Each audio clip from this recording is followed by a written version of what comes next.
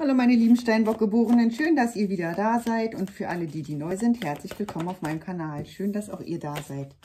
Meine Lieben, denkt bitte daran, dies ist eine allgemeine Legung. Diesmal geht diese Legung vom 1. bis zum 15.07.2021. Sie kann auf dich zutreffen, sie muss es aber nicht, okay? So, für alle, die, wie gesagt, die neu sind, ich freue mich über ein Like und über euer Abo. Und wenn ihr mir schreiben möchtet oder kommentieren möchtet, freue ich mich auch.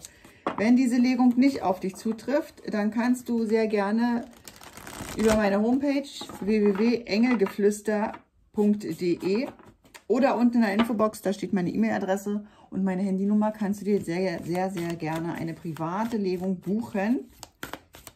So, und jetzt schauen wir mal gemeinsam, was denn in der gesagten Zeit bei euch, meine lieben Steinböcke, was da so los ist. Wer gerne möchte, der darf sich auch das Reading vom Juli 2021 nochmal angucken, wenn du das noch nicht getan hast. Interessant, interessant. Ich glaube, das sind genau die gleichen Karten wie bei der Jungfrau. Die erste Karte ist oder waren es die Stiere? Weiß ich gar nicht mehr. Ähm, ist auch egal. So, einmal Medizinmutter. Erweise deinem inneren Wissen die Ehre. Und die zweite Karte ist der älteste. Lass die Muster der Vorfahren hinter dir.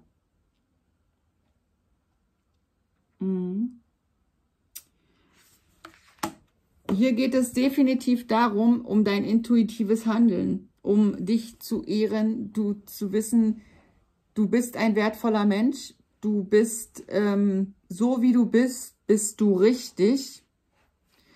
Und äh, da darfst du hier in die Gewissheit gehen, ja. Hat so ein bisschen, kriege ich rein, mit Selbstzweifeln zu tun, brauchst du aber nicht haben, lieber Steinbock. Und die Muster, Verhaltensweisen, Denkmuster, Glaubenssätze etc., ja, alles, was man so hat, so war es schon immer, ne? Das darfst du hier auflösen. Hört sich ein bisschen an nach Hausaufgaben machen, aber wir schauen mit dem Tarot rein, um was es geht bei euch. Das war zu viel. Wow, viel Energy bei euch. Wahnsinn.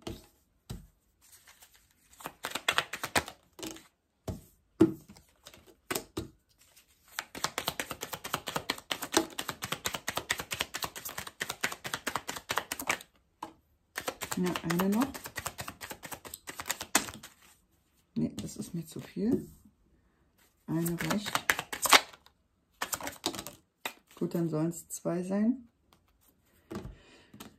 Okay, meine Lieben. Hier gibt es einige von euch,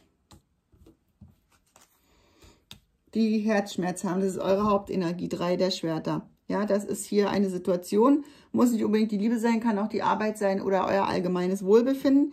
Hier geht es wirklich darum, um Herzschmerz, um eine Situation im Mangel, äh, die euch Schmerzen bereitet, die euch Sorge und Kummer bereitet. Das kann natürlich auch sein, ähm, dass das daran liegt, dass es Glaubenssätze, Gedankenmuster etc. pp. von euren Ahnen, Vorfahren gibt, weil es so schon immer war und ihr wurdet nicht anders erzogen, weil ihr wisst es halt nicht besser weil ihr so erzogen worden seid. Also wie gesagt, das ist so ein bisschen Glaubenssätze, Gedankenmuster. Hier geht es um euer eigenes Sein. Äh, das, was ihr gerade gehört habt, das Schnarchen, wundert euch bitte nicht, das ist mein Boxermädchen. Die ist jetzt immer live mit dabei. Also es könnte sein, dass ihr öfter mal Geräusche hört. So, das mal nebenbei. Aber wie gesagt, also lasst euch hier bitte nicht aus der Ruhe bringen. Ja, Ihr fünf der Münzen, ja, hier guck mal, hier, ihr seht hier gar nicht, um was es bei euch geht. Ihr seht gar nicht, warum dieser Zustand hier so ist. Warum seht ihr das nicht? Weil ihr gar nicht da hinguckt. Wenn ihr hinguckt, dann wüsstet ihr, was ihr habt. Aber das tut ihr nicht. Ihr wollt im Moment gar nicht. Ihr wollt im Moment überhaupt nicht sehen. Ja, ihr wollt da nicht hingucken. Ihr wollt diesen Zustand, den ihr habt, wollt ihr erstmal leben. Ihr wollt ihn leben, ihr wollt ihn fühlen. Ja, aber bedenke bitte, Erweise deinem inneren Wissen die Ehre. Letztendlich weißt du es. Nur zwischen Wissen und Sehen wollen ist ein Unterschied. Oder fühlen wollen, spüren wollen, ja. Wisst ihr, ihr könnt Dinge, die euch nicht gut tun, könnt ihr wie ablegen. Ich gebe euch mal eine Möglichkeit mit an die Hand. Indem ihr genau diesen Zustand, der dazu geführt hat, fühlt und spürt. Und wenn ihr weinen müsst, wenn ihr traurig seid, wenn ihr wütend seid, egal was, aber wenn ihr diesen Zustand einmal durchlebt habt nochmal, mit komplett diesen ganzen Gefühlen, dann könnt ihr den hinter euch lassen, meine Lieben. Dass es nicht schön ist, klar, keine Frage. Aber ihr wollt ja diesen Zustand, ihr wollt ja aus diesem Zustand rauskommen. Und das tut ihr letztendlich, indem ihr anfangt zu gucken. Ja, König der Münzen. Ihr, ihr, ihr fangt an zu gucken. Ihr wisst, dass ihr ein wertvoller Mensch seid. Ihr habt alles, was ihr braucht. Ja, Ihr, ihr habt gar keinen Grund, im Mangel zu leben. Guck mal, einfach mal den Kopf hochmachen und zu schauen. Was habe ich denn? Ja, guckt euch mal den Herrn hier an. Der hat alles, was er braucht. Der ist so in seiner Ruhe, so in sich ruhend, ja, dass letztendlich das jetzt ein Prozess ist bei euch, das, was euch wehtut, nochmal zu leben, ja, um das abzugeben, um das hinter euch zu lassen, um dann wieder hier in eure eigene Kraft zu kommen.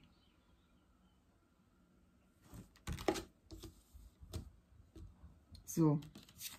Ihr werdet öfter mal noch an den Zustand kommen, öh, nee, ich gucke da nicht hin. Nee, ich will die, ich, ich will das, ich will keine Informationen, ich will keine Botschaften, ich will keine Gespräche, ich, nee, ich gucke da nicht hin, ich will das nicht. Ich will nicht reden, ich, ich, ich möchte das nicht. Das ist okay.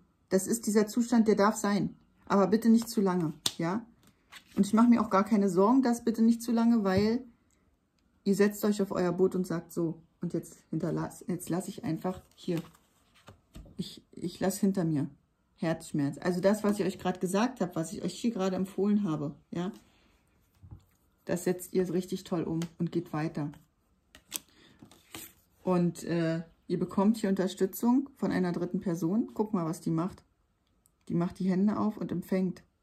Und dadurch kann sie euch unterstützen. Oder ihr seid so weit in eurer Entwicklung, das ist auch eine Alternative, eine Möglichkeit. Es ist aber nur eine kleine Gruppe die dann sozusagen ins Empfangen geht. Ich habe jetzt das und das gemacht, ich habe das und das umgesetzt und jetzt empfange ich das Lichtvolle. Ja? Warum? Ganz einfach, weil ich bin ein wertvoller Mensch. Ja?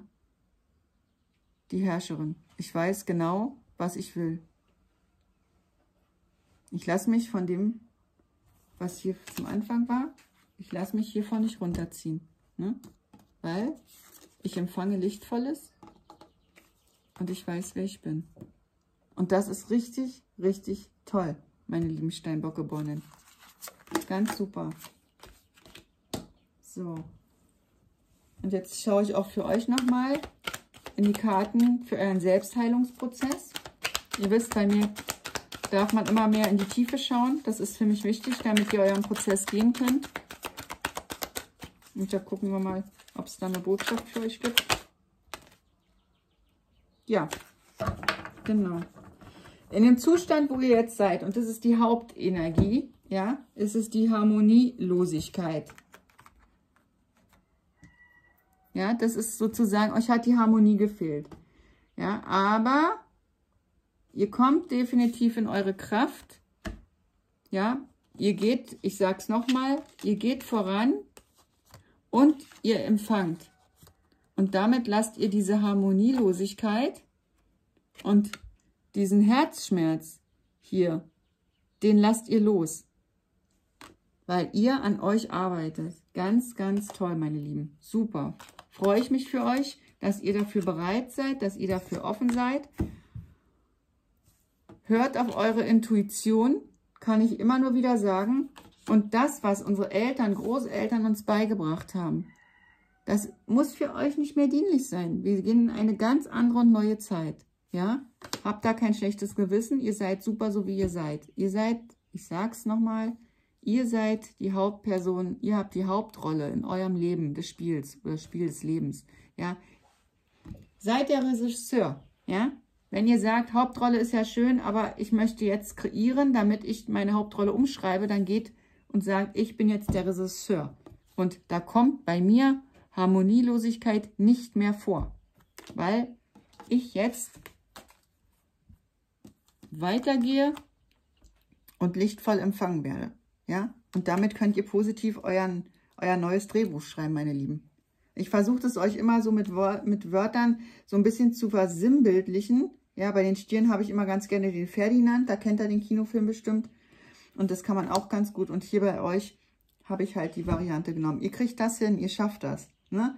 Wichtig ist immer nur, wenn man was verändern möchte, dann darf man selber sich verändern. Dann darf man gucken, was, was löst denn das aus? Hier dieses, dass ich nicht hingucke, obwohl ich reich bin an allem, was ich brauche. Ne? Ja, das ist, um den Zustand zu verstehen, darf man einfach ein bisschen in sich gehen. Und das tust du, um dann nachher sozusagen lichtvoll weiterzugehen. Total super, meine Lieben. Ja, und dann kommt auch wieder die Harmonie in euer Leben. Also, für die nächsten 14 Tage habt ihr schon mal so einen Lichtblick. Ist, wie gesagt, auch bei euch keine schlimme Legung. Aber wie gesagt, ihr werdet hier in dem Zustand nichts verändern, wenn ihr nicht, nicht äh, hinguckt und wenn ihr die Augen verschließt. Aber das werdet ihr nicht lange tun, sondern ihr werdet hier weitergehen. Und das ist ganz, ganz toll. So, wenn ihr möchtet, sehen wir uns in 14 Tagen wieder. Also, macht's gut. Eure Katrin.